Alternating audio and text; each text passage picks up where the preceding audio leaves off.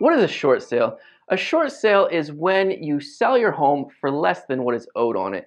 For example, if you sell your house for $100,000 and you owe $125,000, you could be in a possible short sale situation.